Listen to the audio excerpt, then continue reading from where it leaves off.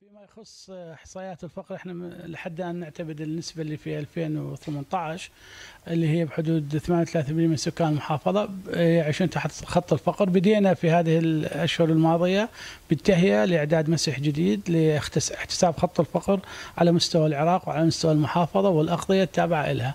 إن شاء الله خلال الأشهر المقبلة سيبدأ العمل الميداني هذا المسح بغية الحصول على مؤشر خط الفقر الوطني والتعرف على آه، معدل انفاق الأسرة ودخل الأسرة ومن ثم الحصول على أعداد السكان الذين يعيشون تحت خط الفقر. نعم.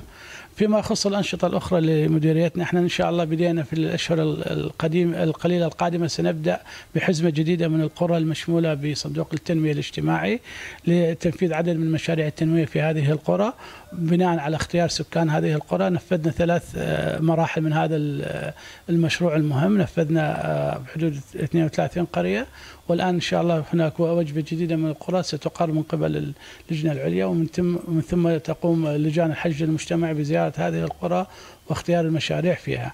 أيضا إحنا أنجزنا آه، تقرير لمسح المولدات آه، نفذ في جميع أنحاء العراق بما فيه إقليم كردستان، المؤشرات آه، تقول إن في نينوى حدود 4500 مولدة موزعة على 1500 موقع. معدل سعر الأمبير كان في 2022 بحدود 12000 دينار وهو الأعلى في العراق آه، في فيما يخص محافظة نينوى آه، خارج أوقات الذروة.